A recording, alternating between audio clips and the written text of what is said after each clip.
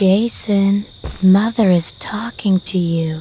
Put the weapon down and come to Mom.